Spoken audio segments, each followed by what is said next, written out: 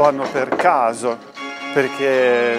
questi organi sono stati restaurati intorno agli anni Ottanta e sono suonati dai più grandi musicisti che questo tipo di materia conosca nel mondo, soprattutto il maestro Tamminga. Anche il maestro Tagliavini, Luigi Ferdinando, che li ha restaurati e che purtroppo è morto ieri e quindi è un momento di lutto per la Basilica e per la musica bolognese, è stato il titolare di questi organi.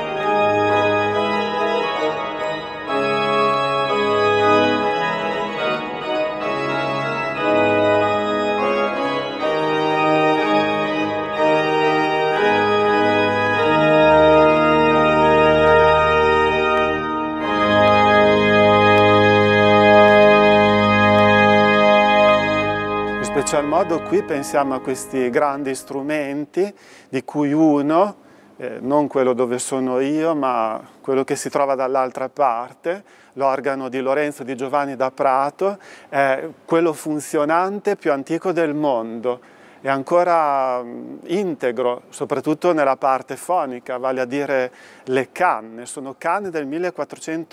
1470. I bolognesi l'hanno conservato nei secoli sapendo di avere probabilmente quello che allora era l'organo più grande del mondo e forse ancora il più specialisticamente dotato, il più perfetto, diremmo una macchina di grande avanguardia perché aveva tante file di registri, cioè tanti colori diversi, eh, tanti che nell'epoca non si conoscono strumenti altrettanto evoluti, avanzati come questo organo.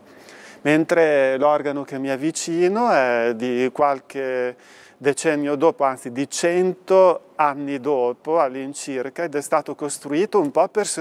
per, sostenere il coro e la cappella, perché qui c'è una grande cappella musicale eh, ma specialmente per suonare a due organi, come è nella tradizione italiana, soprattutto della pianura padana, a partire dalla città di Venezia. Quindi il modo di suonare gli organi di San Petronio è quello di suonare con due organisti a due organi e in pochi luoghi in Italia, come nel presbiterio, nella cappella maggiore di San Petronio, è possibile suonare questo bellissimo repertorio a due organi di cui i bolognesi sono maestri specializzati.